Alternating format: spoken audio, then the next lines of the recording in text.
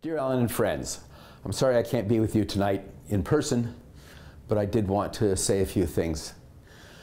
I remember back in the 1970s when I was showing films at San Francisco State and you were showing films in the UC Berkeley campus. I think your parents uh, thought you were studying, but you were studying a different subject than they expected. And then you took over the warehouse on Gilman Street and turned it into the Rialto Theater.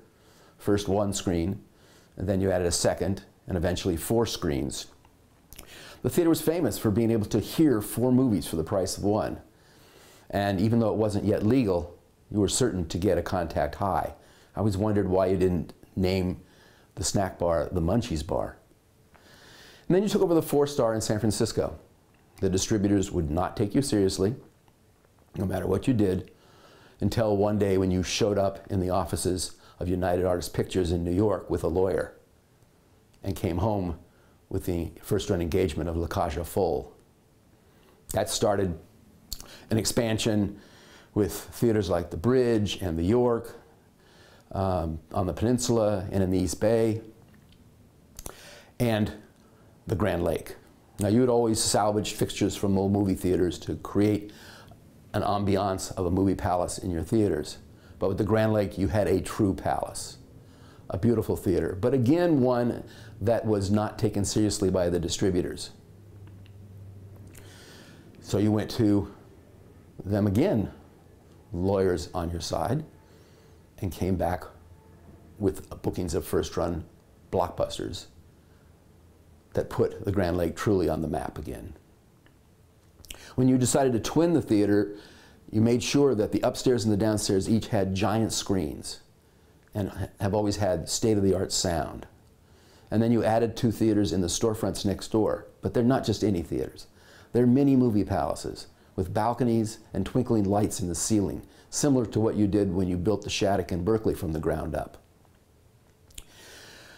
With the Grand Lake, it is a locally owned movie palace, operated with pride, clever marketing, and showmanship. You've got dual projector 3D, digital 70 millimeter, 35 millimeter. There's a Wurlitzer organ concert on the weekends. The staff is friendly, and there are never commercials.